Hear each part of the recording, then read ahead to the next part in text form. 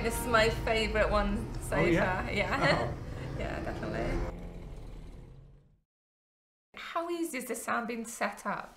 Is it pretty straightforward? Yep, absolutely. Uh, the, each of these switches is indeed wireless, and like I say, you can connect other switches to it. That has an on-off switch here. Okay. Um, so they just need to be switched on, and once they're on, they'll communicate with this wirelessly. The beams at the moment are connected to the back of the device here. Uh, there's there's space for four beams. Yep. This is power. Yeah. That's my HDMI cable, which is going off to, to a projector or to a television or to a monitor if you want to display images. Uh, and there's two outputs and two inputs. So there's an input for a microphone or line in to make your own recordings, should you wish to. Yeah. And there are also outputs going off to, to your speakers, your PA, your headphones, or whatever Okay. you want to hear the audio through. So it's pretty simple to, to and it's self-contained, you know. Everything's unlike earlier versions. You don't need a, an external synthesizer or a keyboard or a sampler or a mixing desk. It's all in there. So do you literally switch it on? Just literally switch it on. Okay. And it just loads up. Yep, absolutely. Okay, that's good to know.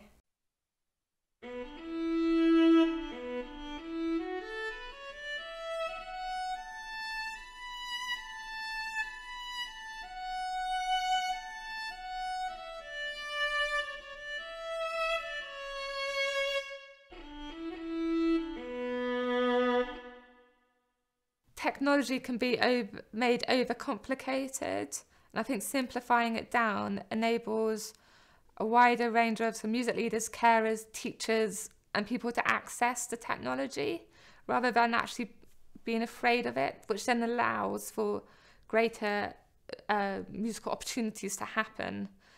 Because no, technology doesn't need to be made over complicated these days. It can be quite simple, and you can get huge results from it.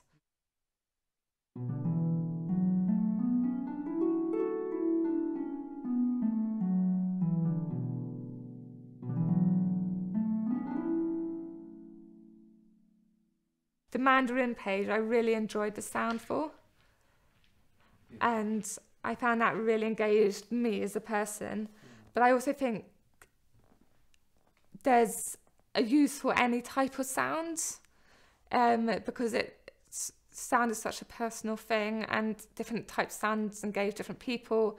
And I'm also quite up for sounds crossing each other in a way that some traditional musicians may not. I think it can make quite exciting new varieties of music and yeah, personalize it really nicely. So can anyone program it themselves? Absolutely. You can put your own series of notes in there or chords, or you can use the switches to trigger backings or drum loops. And can you record a piece you play and save it onto a switch to then play later? Yep. So I think this version of Soundbeam is much more user friendly.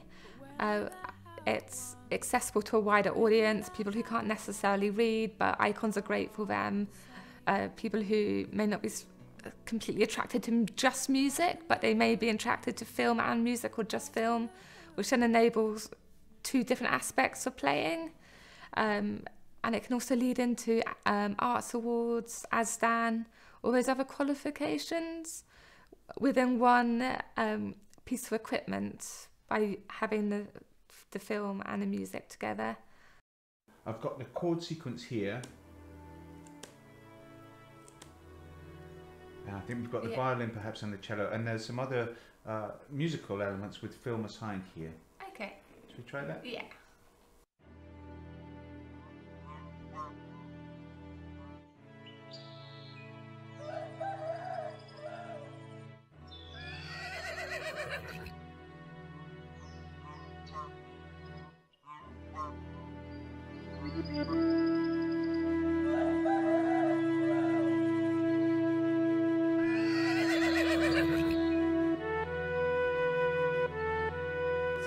One long piece of footage, and there's a few variety of short short pieces of footage. Yeah, this is a piece we call English Fields, Yeah. uh, hence the, the, the you know the, the drone footage. Yeah. Uh, and yeah, and then there, you can that can be embellished with the different individual animals here.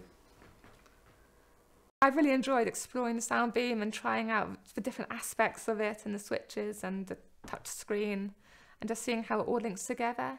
It's been, it's been good fun.